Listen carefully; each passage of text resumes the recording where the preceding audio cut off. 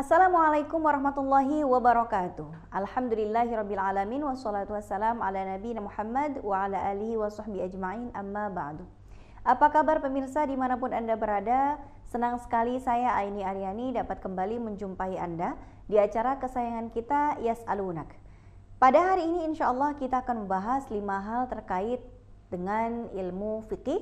Yang pertama, mengapa status najisnya air kencing anak laki-laki dengan kencingnya anak perempuan menjadi berbeda statusnya dalam ilmu fikih.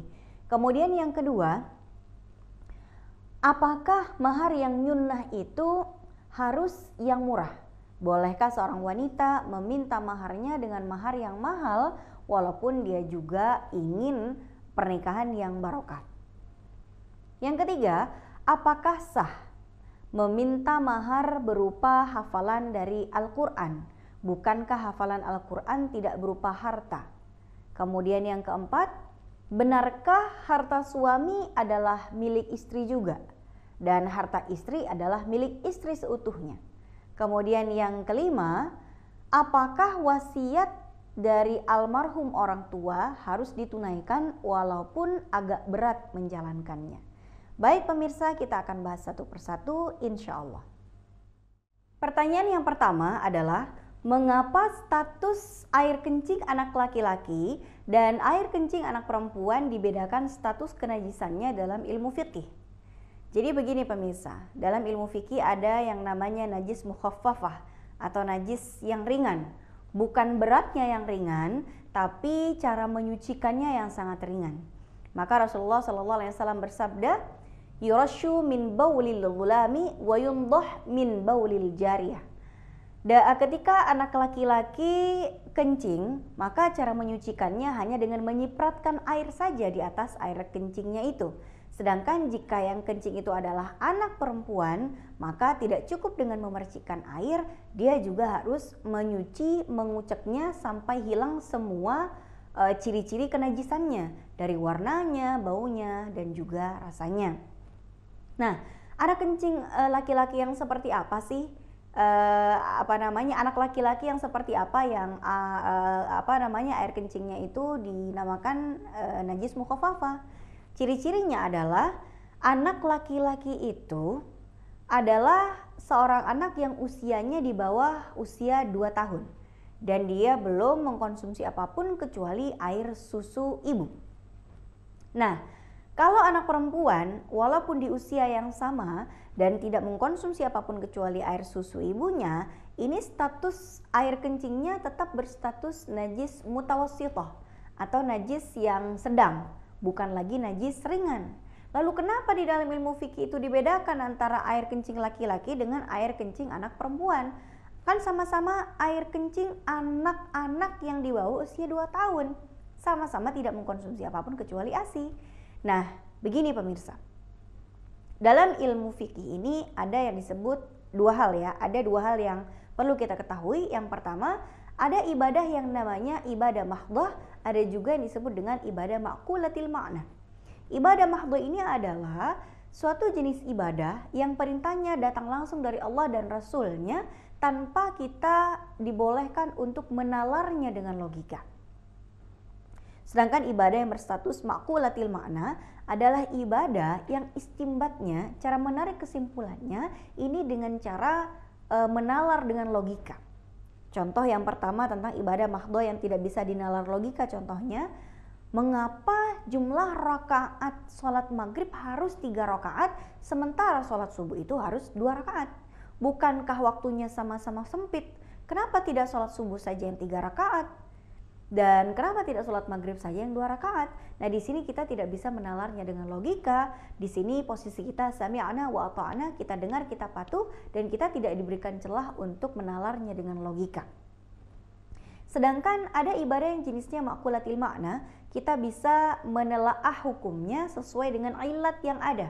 Ilat itu adalah reason atau dasar penetapan hukumnya, alasan kenapa hukum tersebut adalah A atau B atau C. Nah, di sini tentang kenajisan air kencing anak laki-laki dan kenajisan air kencing e, anak perempuan masuk dalam ibadah mahdoh. yang tidak bisa dinalar dengan logika dan Allah dan Rasulnya memerintahkan kita dan menentukan seperti itu, ya seperti itulah. Saya kasih contoh yang lain nih pemirsa. Contohnya haramnya memakan babi. Para ulama sampai sekarang belum menemukan apa ilatnya. Apa sebabnya Allah mengharamkan pada kita untuk makan daging babi? Apakah karena mungkin sebagian ulama mengatakan bahwa sebagian hikmah kita dilarang makan babi agar pertama terhindar dari cacing pita, terhindar dari kebodohan, terhindar dari sifat-sifat babi yang begitu tidak menyenangkan dan lain sebagainya. Tapi semua itu adalah hikmahnya yang bisa terjadi pada sebagian orang dan tidak bisa terjadi pada sebagian yang lain. Dan babi dengan atau tanpa adanya cacing pita tetap kita diharamkan memakannya. Memakan babi walaupun tidak membuat bodoh, tetap saja tidak boleh kita makan. Dan lain sebagainya. Artinya keharaman babi tidak ada ilatnya. Allah mengharamkan tanpa sebab. Satu saja kuncinya Allah mengharamkan kita memakan daging babi karena Allah ingin menguji sampai mana ketaatan kita kepadanya. Begitu juga tentang tata cara menyucikan kencingnya anak laki-laki dan menyucikan kencingnya anak perempuan Allah sudah tetapkan melalui lisan Rasulullah SAW melalui sabdanya bahwa kalau kencing anak laki-laki dengan usia di bawah 2 tahun tidak mengkonsumsi apa pun kecuali ASI dan anak perempuan dengan ciri-ciri yang sama itu dibedakan. Yang satu hanya dipercikkan saja yang satu lagi tetap harus dikucek sampai hilang ciri-cirinya. Ini kira-kira jawaban kami. Wallahu a'lam bishawab. Pertanyaan yang kedua, apakah mahar yang nyunnah itu harus selalu murah? Tidak bolehkah seorang wanita meminta mahar yang lumayan tinggi walaupun dia juga menginginkan keberkahan di dalam rumah tangganya? Rasulullah Shallallahu Alaihi Wasallam bersabda, Inna akbaro inna akbaro nikahi barokatan aisaruha maunatan. Jadi eh, pernikahan yang eh, berkahnya sangat besar itu adalah pernikahan yang maharnya diringankan. Di sini Rasulullah mengatakan aisaruha maunatan. Jadi mahar yang aisar, yang meringankan. Meringankan buat siapa? Meringankan buat calon suaminya tentunya. Nah, di sini kata ringan itu tidak harus selalu murah. Murah itu tidak selalu ringan loh pemirsa. Kalau murah tapi ngerepotin itu tetap saja berat bagi calon suaminya. Saya kasih contoh begini Calon istrinya mengatakan bahwa bang saya mau mahar sesuai dengan tanggal pernikahan kita. Dia meminta suaminya e, nikah misalnya anggaplah 18 Oktober 2018. Dia minta 18 rupiah misalnya atau 2018 rupiah. Ini sangat amat murah sekali. Tapi kalau sampai begini, permintaannya bukan di Jakarta, Anggaplah mungkin di Jakarta ada Bank Indonesia di mana kita mungkin bisa mendapatkan uang 18 rupiah dengan mudah. Tapi bayangkan kalau pernikahan itu ada di Papua misalnya, di mana calon suaminya bingung mencari 18 rupiah itu di mana? Dia harus datang ke Jakarta dulu, ke Bank Indonesia dulu untuk mendapatkan 18 rupiah. Demi mendapatkan 18 rupiah, dia datang ke Jakarta harus membeli tiket yang begitu mahalnya, anggaplah uh, tiket Jakarta Papua, Papua Jakarta Papua itu mungkin bisa jadi sampai 10 juta rupiah. Ini juga tentu uh, eh, 2018 murah tapi ongkos mendapatkan 18 rupiah itu menjadi ongkos yang sangat mahal bagi calon suaminya. Dan ini tidak meringankan, justru ini malah memberatkan. Saya kasih contoh lagi. Jika calon suaminya itu adalah konglomerat, pengusaha properti di mana-mana, di mana apartemennya dia jual di mana-mana. Jikapun si calon istri itu meminta mahar berupa satu unit apartemen, itu bagi calon suaminya sangat ringan. Nah, apakah dengan meminta mahar apartemen dan itu meringankan bagi calon suaminya, apakah ini bukan pernikahan yang barokah? Tidak demikian. Maka kata Aisar di sini adalah yang meringankan calon suaminya, baik dari nilainya maupun tata cara mendapatkannya. Dan jika parameter sebuah pernikahan itu harus diukur dari murahnya mahar, maka seharusnya rumah tangga Rasulullah tidak berkah. Kenapa? Karena pernikahan Rasulullah, ketika Rasulullah menikahi istri-istri beliau, dalam beberapa riwayat Rasulullah menikahi Bunda Aisyah radhiyallahu anha dengan mahar 500 dirham. Kepada istri-istri beliau 400 dirham. Kemudian ya, mahar Rasulullah kepada Ummu Habibah kurang lebih 4000 dirham.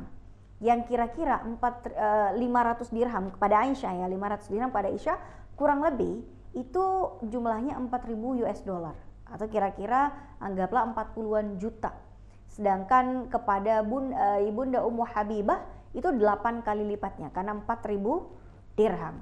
Silakan dikali sendiri pemirsa, antara 40 juta dikali 8, kira-kira berapa? 320-an juta. Apakah mahar yang seperti ini membuat rumah tangga Rasulullah menjadi tidak berkah? Tidak. Kenapa? Karena Rasulullah merasa ringan untuk mengeluarkan mahar itu untuk istri-istri beliau. Maka yang menjadi ukuran keberkahan suatu rumah tangga menurut hadis Nabi Muhammad SAW Aisaruha maunatan. Di sini adalah rumah tangga pernikahan yang tidak memberatkan calon suaminya. Dari mana kita tahu ringan atau tidaknya? Dari kemampuannya. Baik dari kemampuan secara uh, kemampuan secara apa misalnya financial atau kemampuan secara mendapatkannya kalau calon suaminya mungkin masih mahasiswa, beasiswa pula, tidak mungkin kita memintanya mahar satu unit apartemen karena itu tentu sangat memberatkan. Tapi kalau suaminya uh, memang sangat mampu untuk mengeluarkan uh, mahar uh, satu unit apartemen, ya tentu silakan silakan saja dan insya Allah tidak akan mengurangi keberkahan pernikahan tersebut karena pada intinya pernikahan yang berkah adalah yang tidak memberatkan calon suaminya. Demikian semoga bermanfaat. Pertanyaan yang ketiga adalah apakah sah jika mahar itu berupa hafalan Al-Qur'an? Para pemirsa, ada riwayat atau kisah di masa Rasulullah SAW seorang wanita mendatangi Rasulullah kemudian menawarkan dirinya kepada Nabi untuk dinikahi oleh beliau. Rasulullah ketika mendapati seorang wanita menawarkan dirinya untuk dinikahi terdiam karena Nabi tidak akan melakukan segala sesuatu termasuk menikahi seorang wanita kecuali dengan perintah Allah Subhanahu wa taala. Wa ma yantiqu 'anil hawa in huwa illa wahyu yuha. Nabi tidak berbicara sesuai dengan hawa nafsunya. Kenapa? Karena sabda Nabi adalah representasi dari wahyu Allah Subhanahu wa taala. Nah, di sini ketika Nabi berpikir apakah Nabi akan menerima wanita ini sebagai istrinya atau tidak, Lalu karena terlalu lama Nabi menjawabnya, ada seorang sahabat berpikir mungkin Nabi tidak ingin menjadikannya istri, tidak ingin menerima tawaran perempuan ini, tapi mungkin Nabi juga uh, tidak kuasa untuk menyampaikan penolakannya. Lalu seorang sahabat ini yang juga sedang ingin menikah menawarkan pada Nabi, "Ya Rasulullah, jika engkau tidak menginginkan wanita ini untuk menjadi istrimu, apakah engkau berkenan jika aku yang menjadi suaminya, jika aku yang memperistri dia?" Apa kata Nabi? "Apakah engkau punya sesuatu untuk engkau jadikan mahar buatnya?" Kata laki-laki ini, "Tidak ya Rasulullah, aku ini bukan orang yang berada." Lalu kata Nabi, "Bukankah engkau menguasai surat ini dan ini?" Lalu laki-laki ini mengatakan, "Iya ya Rasulullah, aku punya surat ini dan ini." Maka kemudian Nabi mengatakan, "Qad zawajtukaha bima ma'aka minal Qur'an." Maka aku nikahkan engkau dengan dirinya dengan apa yang engkau miliki dari Al-Qur'an. Nah, di sini para ulama berbeda di dalam mengambil kesimpulan dalam menafsirkan kalimat Nabi berupa bima ma'aka minal Qur'an. Kalau kita tafsirkan satu persatu, Bima artinya dengan apa atau dengan sesuatu, maka yang berada di dalam dirimu minal Qur'ani dari Al-Qur'an. Jadi terjemahan bebasnya, aku nikahkan engkau dengan wanita ini dengan apa yang ada dirimu dari Al-Qur'an.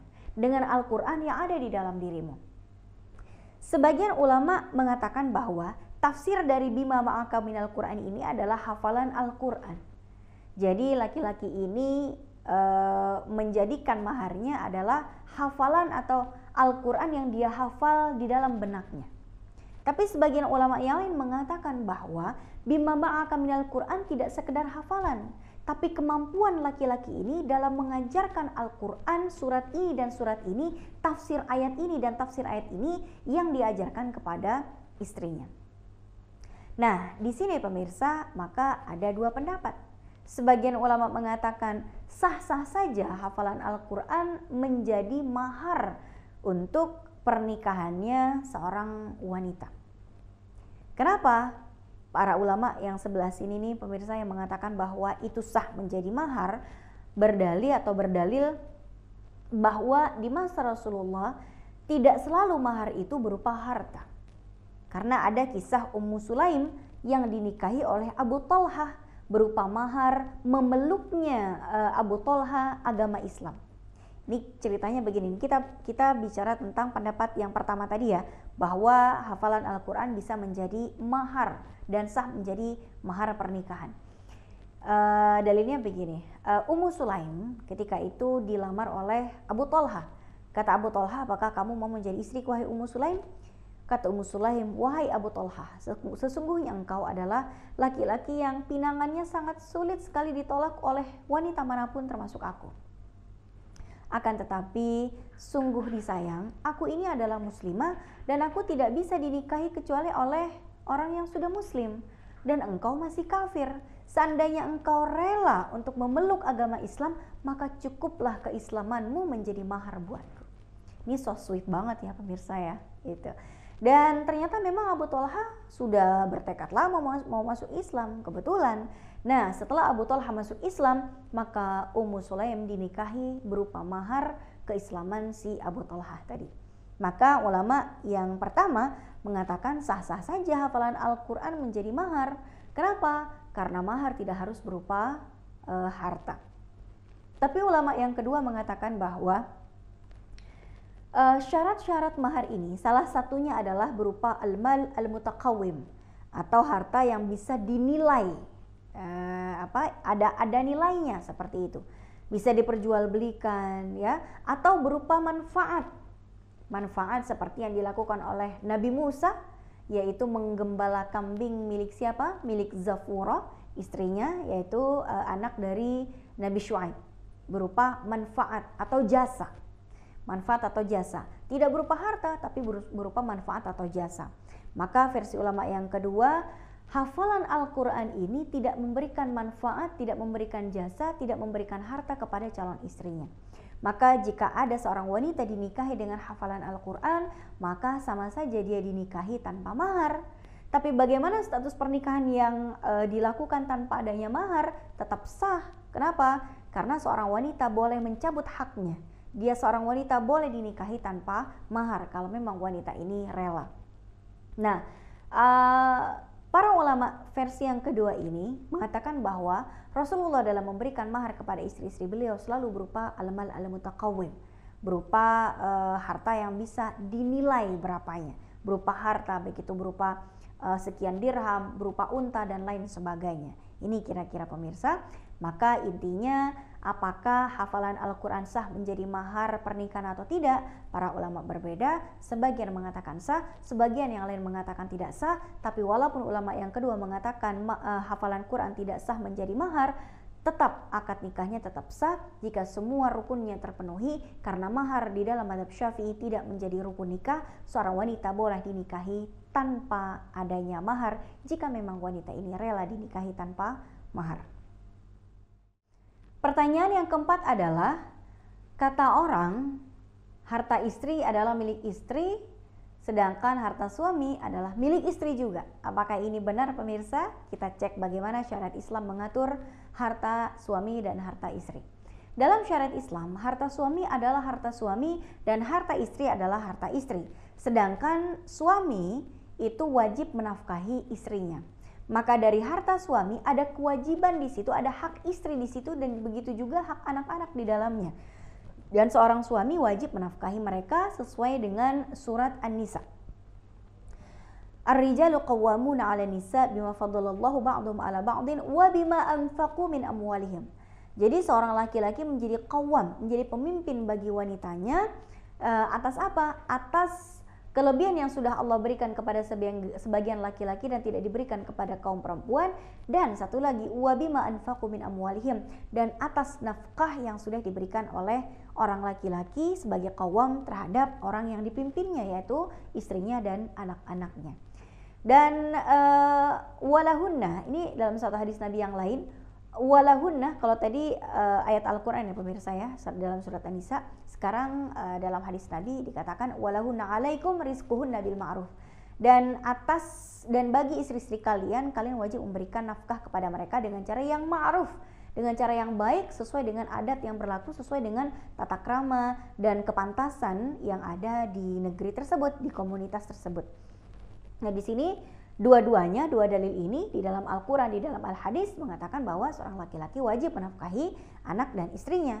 Tapi walaupun seorang suami ini wajib menafkahi istrinya, tidak serta-merta semua harta suaminya menjadi milik istrinya. Kenapa? Karena dalam syariat Islam, seorang istri tidak boleh mencuri harta suaminya di mana suaminya sudah menyimpannya dengan sangat rapi. Maka kalau seorang suami misalnya sudah memberikan sebagian gajinya kepada istri, ini istriku uang 50 juta, silahkan kamu kelola dengan baik di bulan ini, silahkan kita gunakan untuk makan bareng-bareng, buat nafkah anak-anak, buat bayar kontrakan, buat cicilan mobil dan motor dan lain sebagainya. Jika ada sisanya silahkan kamu tabung boleh, silahkan kamu pakai buat ke salon dan lain sebagainya. Semua nafkah istrinya sudah tercukupi, bahkan istrinya bisa menabung dari sisa uang yang sudah diberikan oleh suaminya yang 50 juta itu. Kalau sudah seperti ini pemirsa, apakah istri masih boleh juga ngutil nih, ngutil nih bahasanya ya, mengambil harta suaminya di berangkas yang sudah disimpan rapi? Apakah dia boleh? Tentu tidak boleh. Kenapa?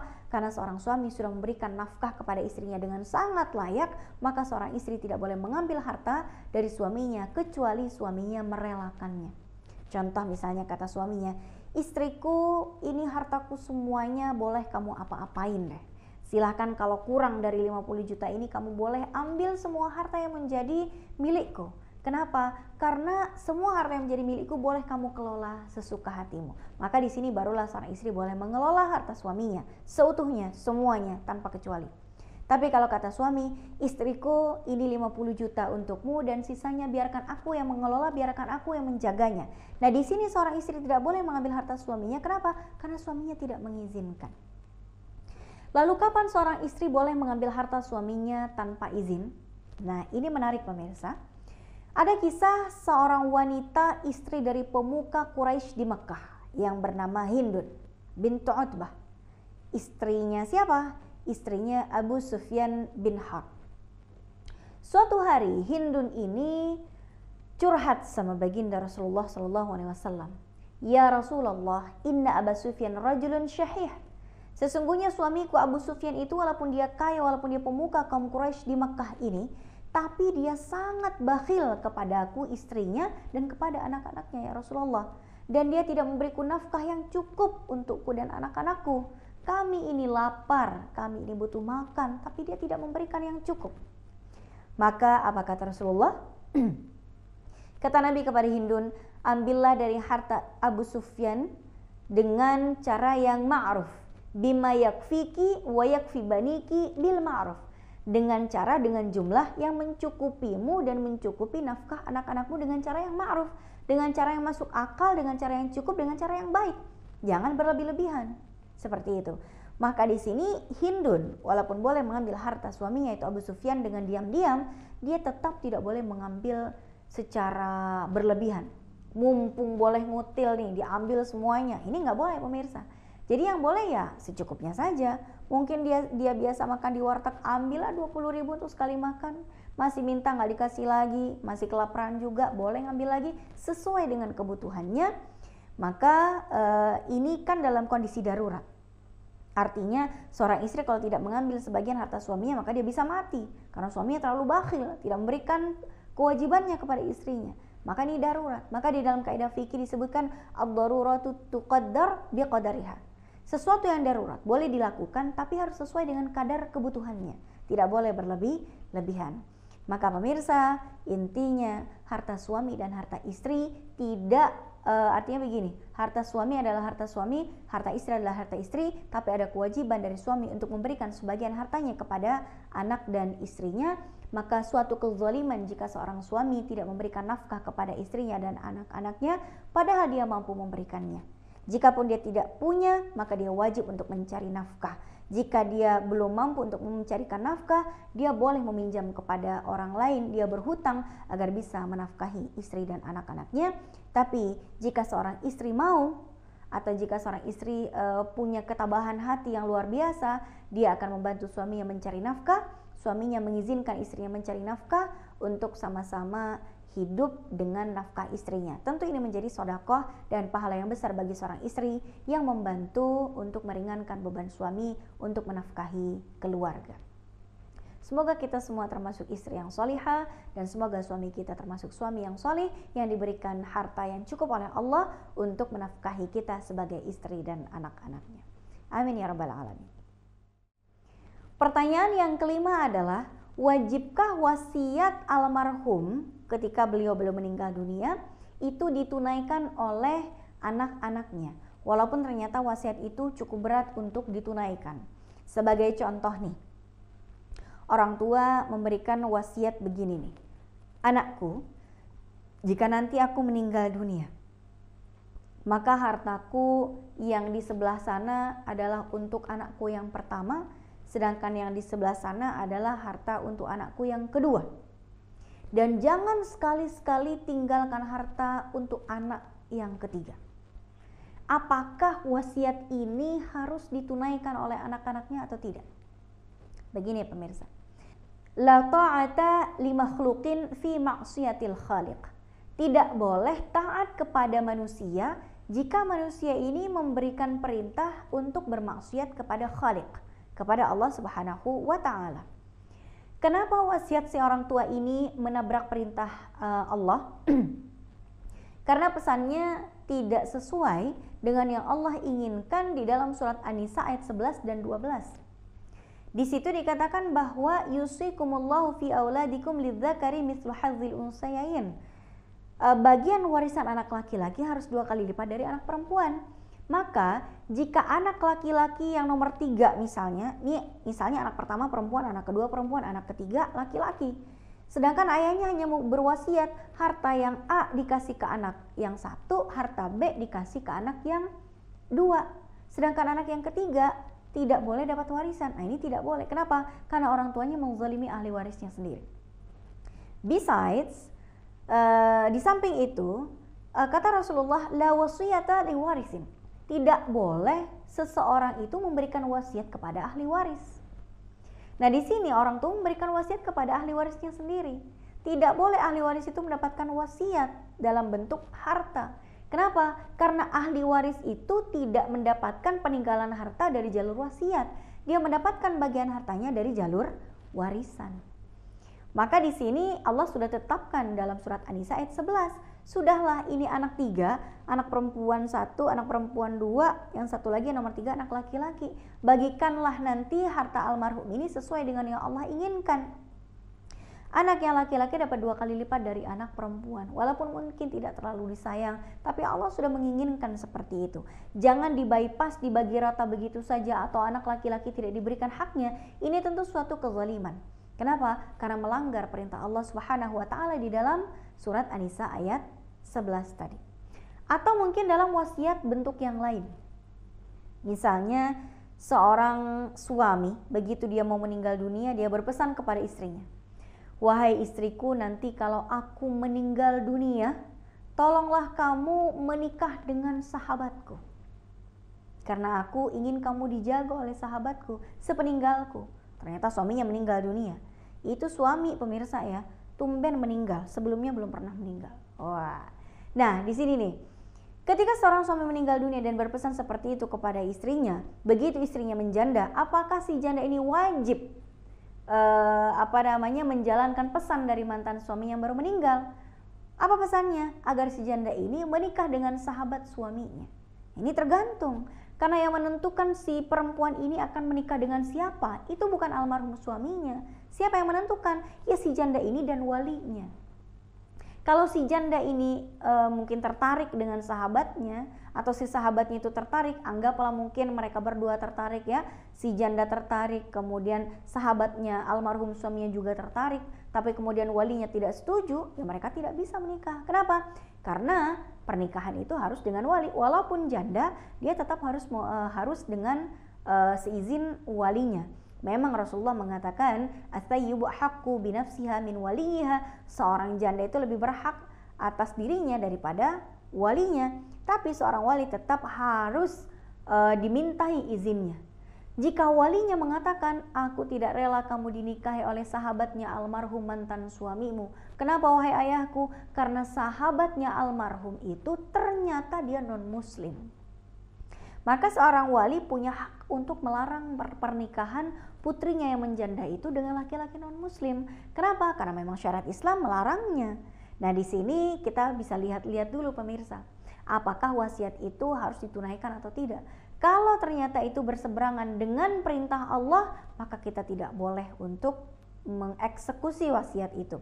Tapi ternyata jika wasiat itu adalah pesan-pesan yang baik, pesan-pesan yang tidak melanggar perintah Allah, justru mengajak kita kepada kebaikan, maka sebaiknya, sejatinya kita membahagiakan almarhum dengan menjalankan apa yang dia pesankan termasuk jika ternyata wasiatnya adalah meninggalkan sejumlah harta tertentu kepada panti sosial atau kepada jalan sosial yang lain kepada anak yatim misalnya dan lain sebagainya selama wasiat itu tidak lebih dari sepertiga dari total hartanya hendaklah kita tunaikan keinginan dari almarhum tersebut tapi jika wasiatnya atau pesan-pesannya bertentangan dengan syariat Islam, maka kita tidak boleh menjalankannya karena itu namanya ta'awanu 'alal ismi wal 'udwan. At-ta'awun 'alal ismi wal 'udwan, tolong menolong di dalam bermaksiat kepada Allah itu sesuatu yang terlarang di dalam syariat Islam.